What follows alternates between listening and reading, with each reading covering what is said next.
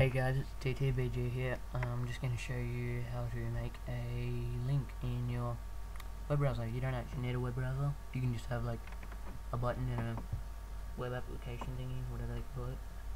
What do they call it? Um, yeah, a web browser application. Just drag that in, drag a button in, and you're like more than halfway there really.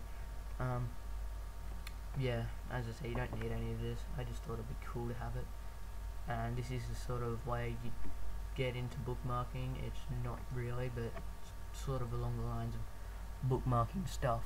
Um, yep, so let's get into it. Um, just click on your button, whatever you've called it, and the coding is just web browser one.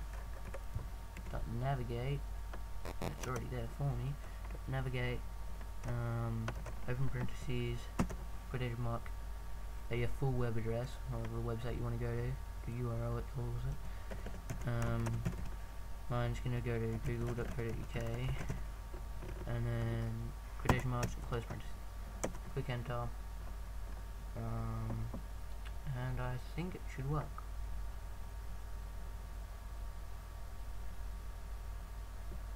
Okay we've got it here.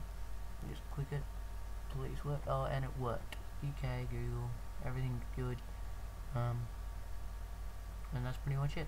That's how you do it um, yeah. Okay, please um, subscribe to my videos, rate my videos, do whatever you want to my videos. Um, and yeah, thanks again.